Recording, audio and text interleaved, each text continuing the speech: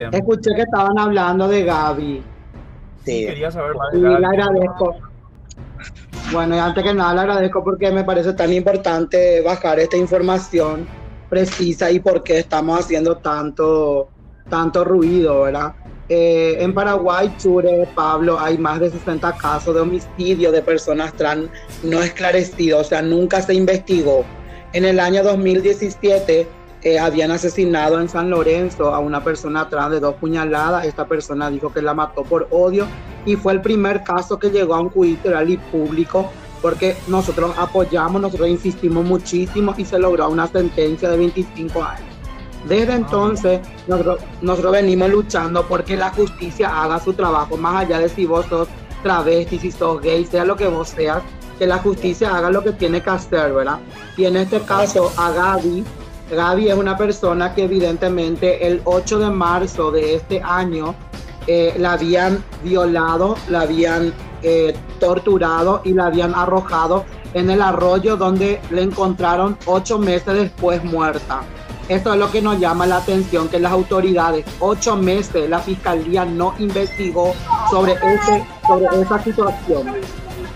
Y antes, días antes, había sido Gaby, fue golpeada brutalmente por 10 hombres al frente de unas discotecas, no sé cómo se llaman esos lugares, que están ahí en la zona de San Lorenzo.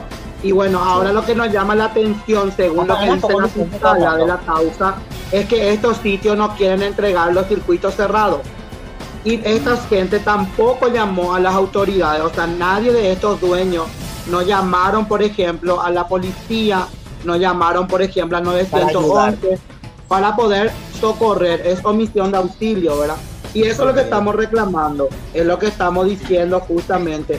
Y por eso es lo que también estaba opinando sobre, sobre la comadre. Yo la, no, como dice, no la envidio ni nada, eh, porque somos dos perfiles muy diferentes.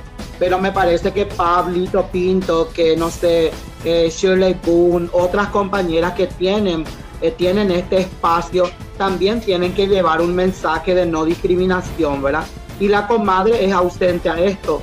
Y si ella hoy está vendiéndose como Trump, porque vende una imagen de Trump eh, y está ocupando espacio por la comunidad Trump, debería también hacer un trabajo de llevar la voz.